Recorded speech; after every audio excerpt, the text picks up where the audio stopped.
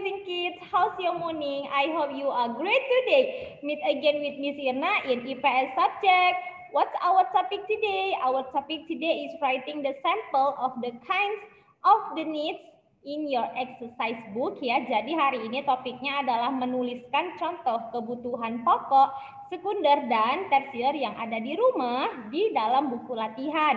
Yeah, what should you do? Don't forget to watch the link and then please open and read your book page 48, 43, I mean until 48. And then today Miss Irna will ask my students about the sample of the kinds of the needs, yeah, by playing the game from word wall. Yeah,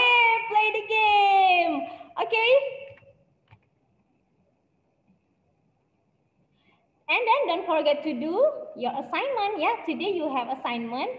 Ya, kalian hari ini ada tugas yaitu menuliskan di buku latihan contoh dari kebutuhan primer, sekunder, dan tersier yang ada di rumah dalam bentuk mind mapping. Setelah menuliskannya, siswa harus memberikan warna pada mind mapping mereka.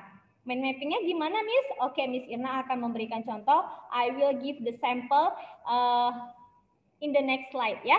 Nah, deadline-nya itu collect to school on Friday 13 November 2020. Jadi, tugas yang di buku latihannya dikumpul di hari Jumat ketika mengumpulkan uh, ketika mengambil material ya tanggal 13 November 2020. Oke, nah ini contoh mind mapping yang akan dibuat di dalam tugas kalian ya. Ini contoh untuk kebutuhan primer.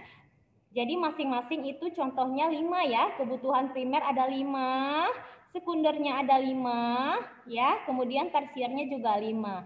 Coba kalian amati benda-benda yang ada di rumah yang termasuk ke dalam ketiga kebutuhan ini, ya, dan tuliskanlah di sini nama benda-bendanya tersebut, ya, di dalam lingkaran yang banyak ini dari masing-masing setiap jenis kebutuhan.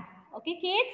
Nah, now please, ya, Let's play this game and answer correctly by click this link. Yay! Play the game and okay, get ready kids. Don't forget to study at home.